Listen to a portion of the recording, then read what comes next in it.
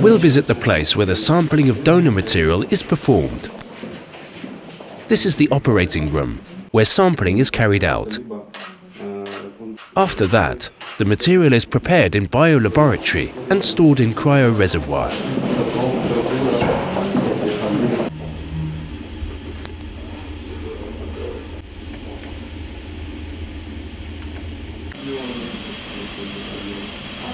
First certificate, which we can activate at our website, charity support from pharmaceutical company Darnitsia in the amount of 800,000 hryvnias. We'll use it for the needs of Skin Bank project. We'll support it.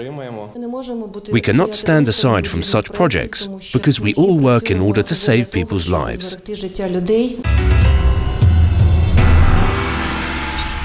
For merely a month, we managed to produce 200 millions of cells.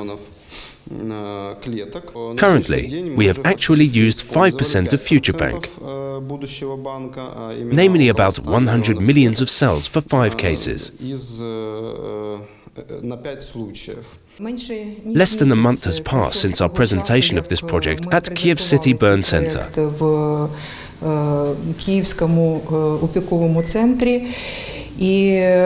And we have already obtained first results when we can take for treatment first two soldiers and civilians who have varying degrees of burns.